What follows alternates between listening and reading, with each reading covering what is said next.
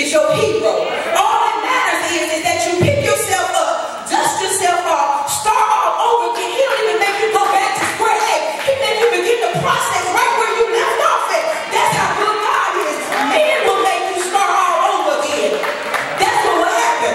But God will say, start right where you left off at and apply the blood.